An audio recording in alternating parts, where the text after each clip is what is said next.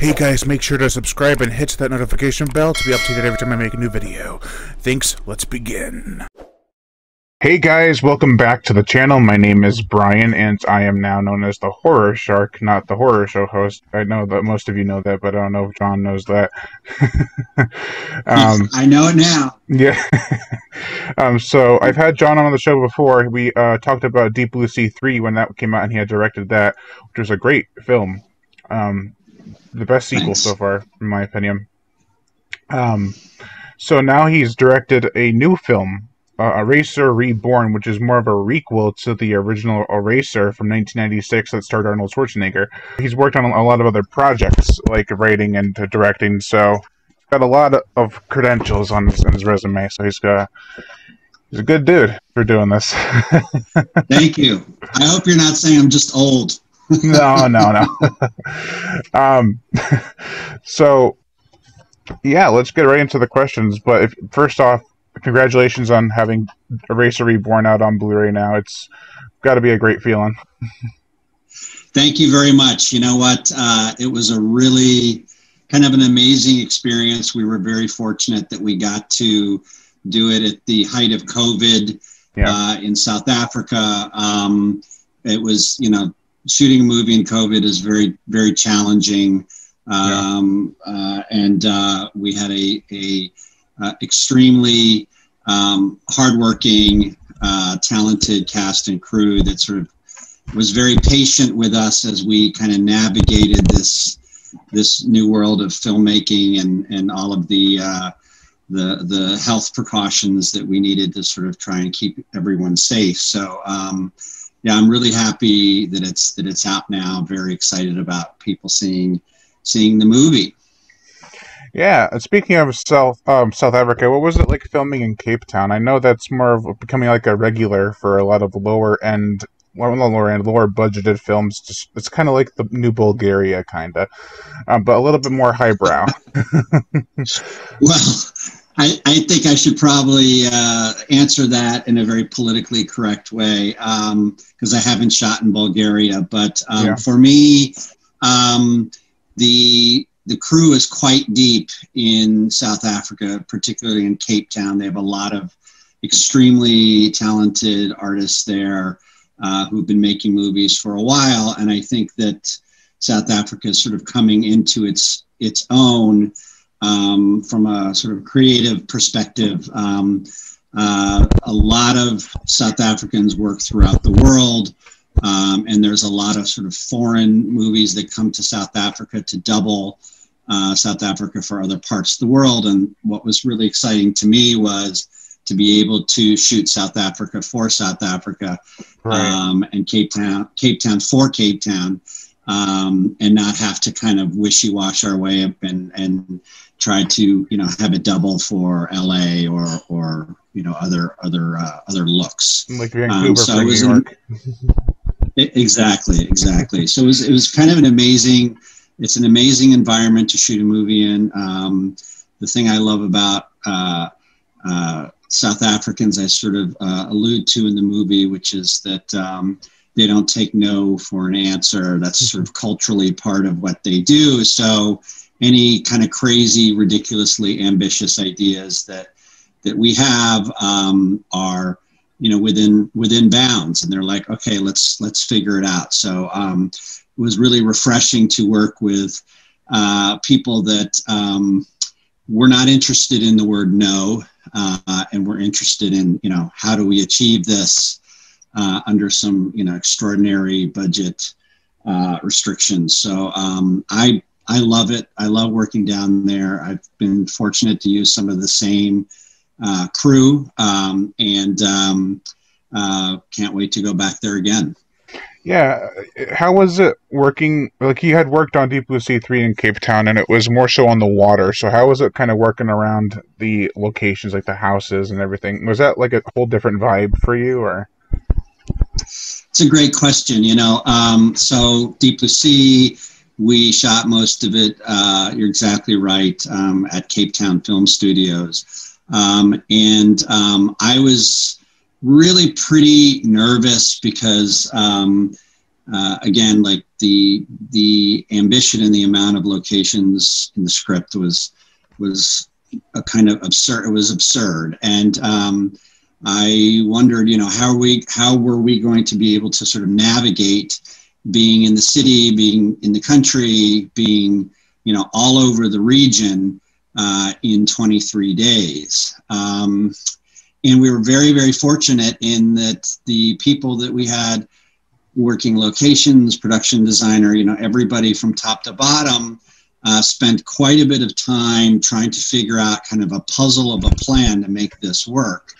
Um, and I found that um, they were so organized that a lot of the bugaboo issues about multiple locations that I usually have shooting elsewhere were taken care of in advance. So we could just, you know, do, spend a lot more time shooting the movie and a lot less kind of dealing with the logistical um, chaos that you know usually sort of follows shifting shifting uh, locations all the time. So we found uh, a couple core locations that were sort of little base camp uh, locations where we could walk um, or almost walk to mul- you know multiple places within within one base camp, and that sort of helped us out a lot in terms of our clone planning, and I think we actually had something like 52 locations in this in the script uh, that got cut down a little bit, but we're we're all over the place. Yeah, uh, and I think it was really just just amazing planning.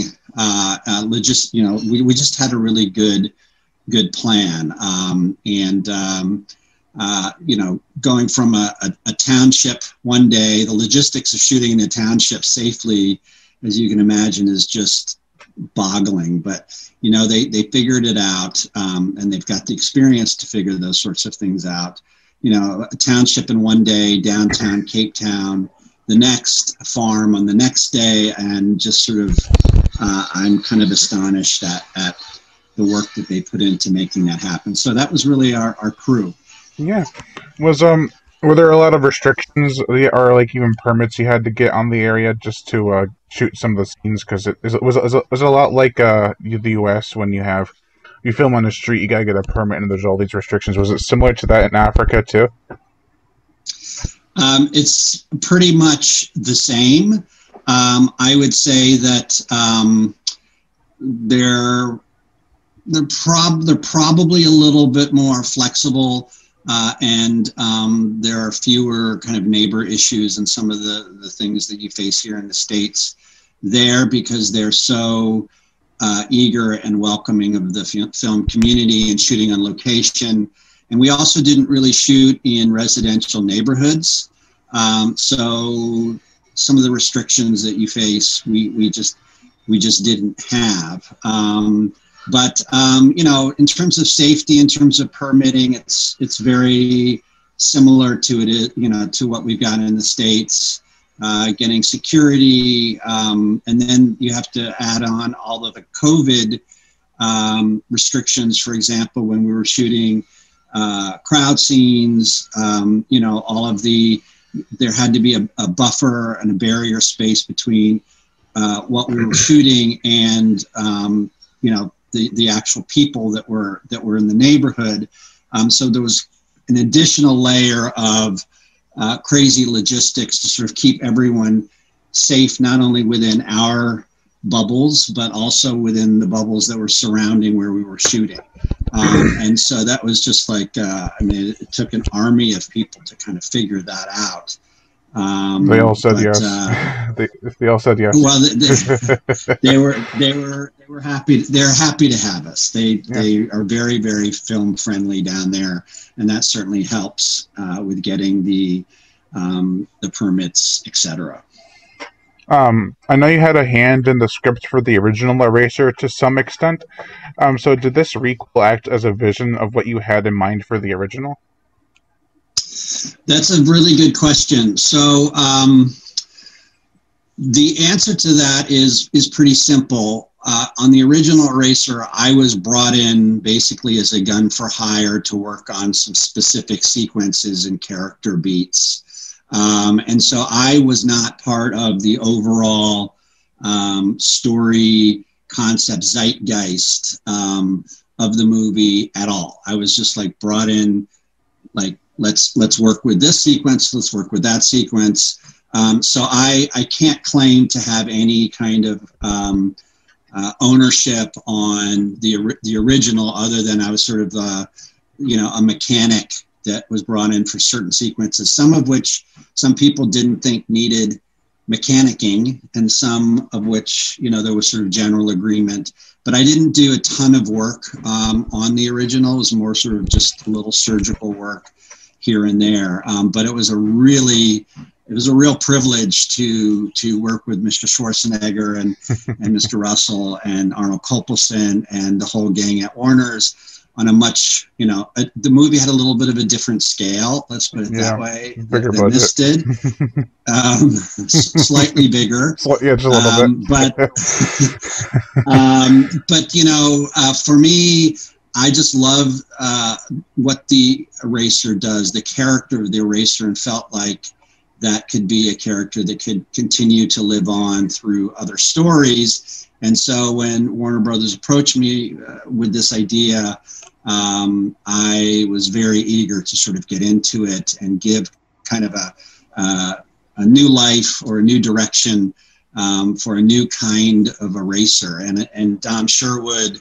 you know, brought his, his ideas to that as well. And so, um, uh, you know, we are very kind of excited about, um, you know, rebirthing, rebirthing this character. Um, but you know, I, I, I can't claim any sort of, you know, creative originality in terms of the original. Um, uh, but it was very interesting when faced with, um, you know, where do we take this next? Yeah, a lot of people will probably be wondering why, but why was there no unique gun like the railgun in the original? It's a very simple um, answer, which is um, affordability. Yeah. Um, those the, the, the visuals behind that, even twenty some years later, um, were extraordinarily ambitious and expensive. Yeah. And um, having the rail guns, which I, you know, love, and and certainly uh, in a snap your fingers wish fulfillment world would would love to have involved them uh, somehow. Um, uh, it was just not it was just not visually possible given given our budget and so we kind of went a different direction with how we were dealing with technology and focus more on how technology impacts identity uh-huh. and the idea of being erased in the modern world uh, and that was just the reality of the budget that warner's was willing to give us uh, and so the kind of no rail guns doesn't make sense um, concept came up pretty quickly because we just yeah. we just you know once you go down that direction you really have to try to do it as well as possible. And i just felt like you know they did it so well back then but we just cannot replicate that. Um, plus we wanted to you know come up with our own perhaps visually more modest way of doing things that more directly related to uh, you know the idea the idea of uh, identity and, and how that's changed after 20 years. But uh, i you know i think it's a great it's a great question. Mm-hmm. um, and everyone loves those original rail guns um, uh, but we just you know if you yeah. can't if you can't do it right um, do it. you can't do it. Right. So that's that's what we that's what we face. That's the reality. But at least you did something like you took a more grounded approach with like the whole identity thing and um, even the weapons that were used. It was like oh so we have realistic guns. It's going to be more more realistic and more grounded. Um, not to go over the top like the original um, but still just enough to be entertaining. Thank you. Yeah. I mean we we, cer- we certainly do have a lot of weapons and mm. and uh, uh, hopefully some inventive ways of, of using those uh, in addition to uh, you know uh, trying to give a little bit of a, a, funny homage to some of the animal work that was done in the original. I was going to say, including um, the animals. yes, yes. So um, the animals were, you know, uh, if you had to choose between rail guns and, and animals, I think the animals um, uh, were were a little bit more uh, feasible uh, in the realm of poss- possibility. Yeah, definitely. Um, how, what makes Eraser Reborn stand out from the original, in your opinion? Can you define what you mean by stand out? Do you mean uh, what differentiates it, or yeah, like what makes it like? So if someone was to come up to you and say, "I'd love to watch Eraser Reborn," but I don't know if it would be like anything different. So what would make it kind of special yeah. in that regard? It's a it's a very legitimate question. I think when when uh, pursuing these you know, what do you call them? Uh, what's re- your word for them? Oh, like a re- like a remake sequel. okay, it's a great great term. Um, so I I think um, for me, um, the question that HBO, our partner, was really interested in was how is the concept of identity and protecting your identity and erasing an identity and creating a new one um, different now than it was back then. And I think it's become much, much harder to erase your identity given oh, yeah. social media, given the digitization of our world. Um, and so that was extremely intriguing to us. And within our, you know, within the resources that we had, how could we explore that a little bit while telling what we hope was kind of an exciting story that definitely tonally kept some of the big craziness of the original, but was definitely a more kind of, uh, as you put it, more of a realistic take on Eraser. Um, and so um, I think that that those are a couple of reasons for people to see it. I think also uh, I think it's intriguing to see what Dom Sherwood did with the character yeah. uh, and how it's different than Arnold because look, you know, Arnold Arnold is amazing. He's Arnold. You're, there'll never be another one. Mm-hmm. And so we, you know, it was an absolute given that we were not going to try to follow in his footsteps, which is impossible. Yeah. Um, but try to create, you know, try to create our own our own a new take on the character um, with a different backstory, um, but sort of the same job. Um, so um, I think you know seeing seeing this new version of who the eraser is as a character, I think is also a draw. Uh, and then I think the you know the location of South Africa um, uh, is is another one. And I think we've got a whole new group of of actors in this in this movie. Um, and I I'm always interested in in seeing you know who the next hopefully crop of new new talent is going to be in action movies, I think we've been rehashing and recycling uh, not only a lot of ideas, but also a lot of uh, our cast and a lot of action movies. So yeah. I, I, get very excited about, oh, maybe there's some new blood. You know, maybe there's some new blood here, like it, like it or not. Yeah, like that'll um, catch on and.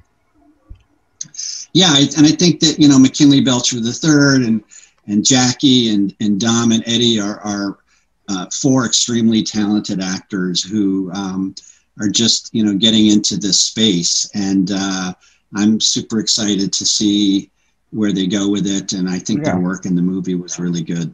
Yeah. So how was it working with the movie cast? Could you see them and or yourself returning for a third Eraser movie?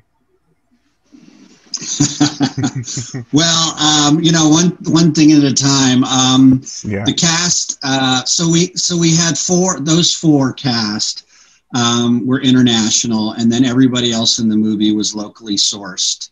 Um, and that was, you know, working with the locals, especially getting uh, if they had to sort of double an American accent was is always very interesting yeah. uh, and and somewhat of a challenge. Um, and like I said, with the the the crew in in Cape Town, there are also quite a few actors that work all the time, both in commercials, but uh, you know, on shows like Raised by Wolves, etc. Um, so uh, I had a ball trying to find local cast um, to sort of fit in with our four, you know, internationals. Um, but uh, honestly, it, it my experience as a director sort of starts at the top with our number one with Dom Sherwood, who I just can't say enough about as an actor, but also as a human being. He's just so much of a leader, uh, and he just, you know, like his character, he gets the job done. um, and uh, will do anything, you know, anything to protect you, anything to get the job done. And he did anything as an actor, uh, including waiting for months and months and months during our COVID shutdown, uh, patiently working on the script, working with me uh, on the character. Um, uh, to to you know get the best result that we we uh, could get and also to prep as much as possible. So we were actually, in a way, a little bit fortunate that we had a several month delay. And I was fortunate as a director that our cast didn't drop out or take other projects. So they really kind of stuck it out for the movie. Uh, which I really appreciate, um, and that that goes for you know McKinley and and Eddie and Jackie.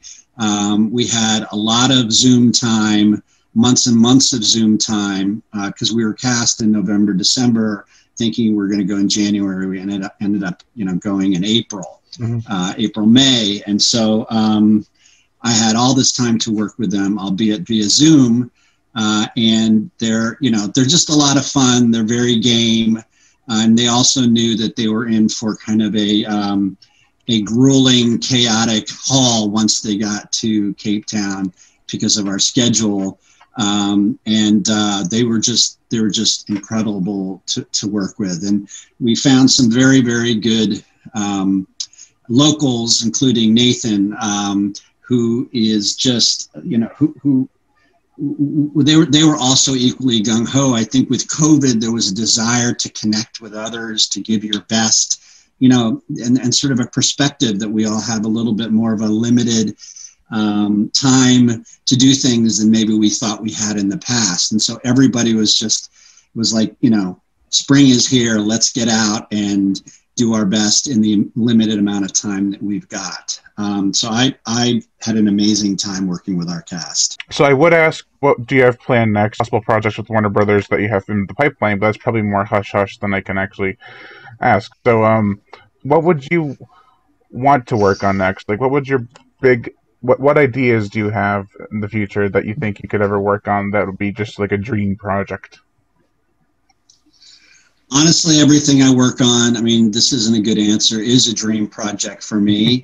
um, so, uh, you know, I I'm not that concerned about um, you know profile. I'm concerned about story, and mm-hmm. so you know, I, I get a lot of uh, pushback sometimes from some people. Oh, you know, it's it's on demand, it's streaming, it's not in theaters, mm-hmm. blah blah blah blah. And I really don't care about that. I'm just like looking for really great stories that I can engage with personally.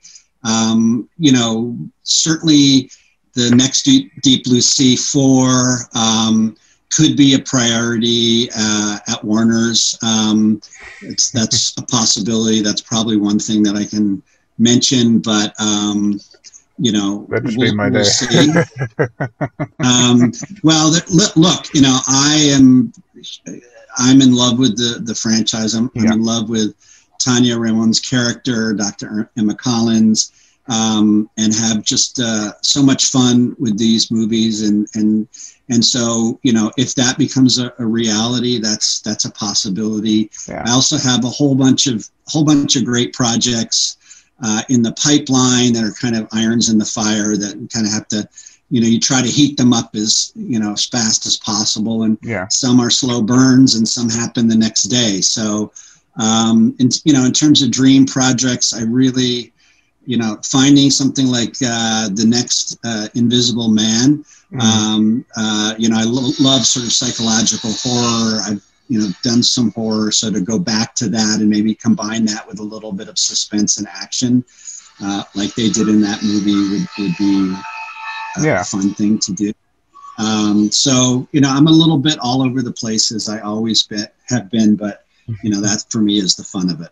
Yeah, you've gone from the zombies and quarantine, or the the infected, I guess. From quarantine two to ghosts and the quiet ones and and uh, sharks and then action. It's like, oh my gosh, he's got a full resume of different ideas. So he's got all this great, all this diversity in the um on, in your resume. It's really cool. Thanks. Some may say too much diversity, but um, uh, you know, I, I uh, like I said, I'm, I'm just looking for a, a, a good story. So um, yeah, we'll you know we'll see. Yeah, we'll keep up with the good work, and um, you guys can check out uh, Eraser Reborn. It's on Blu-ray, and um, I believe it's on streaming. You said HBO, right? Uh, it will be it will be on HBO and HBO Max in the fall. Right now, it, is for sale and for rental on all platforms. Nice. Um, so yeah, definitely go check that out, and the original Eraser, which is a classic, and none I don't think it's talked about enough to be honest. I completely agree. The you know the the scene, uh, the sequence on the 747 to me is like one of the best yeah sequences. People really remember the the movie for the rail guns and for the animals, but mm-hmm. to me that's that sequence is just like yeah. When I saw the so much yeah, I watched the trailer first, and I'm like, this looks pretty cool. Then that plane sequence happens in the trailer, and I'm like, whoa. yeah, it's, it's insane, uh, and Arnold is amazing. So yeah, um, yeah, check check out the original for sure, as well as the new one, the the requel. the requel. Um, so yeah, thank you for joining me on this stream. I greatly appreciate you having appreciate having you on again. Uh, it's a it's a pleasure to see you again. I love the new moniker. Thank you. Uh, and uh, you know, wish you the best. You as well. So thank you all for watching. I am Brian Gatto, the Horror Shark. Make sure to like, comment on, as well as share this video. Like my Facebook fan page and support me on Patreon, where even a dollar a month could help keep this channel going on strong, and I greatly appreciate it. Plus, you get access to body counts and other music videos that you can't get on YouTube because of copyright and age restriction. Monetary support, if you want to support the channel through PayPal, it's horrorshow37 at gmail.com. I greatly appreciate that too. But if you don't want to support me with any money, that's fine. Just hit that notification bell and like the video. And as always, subscribe.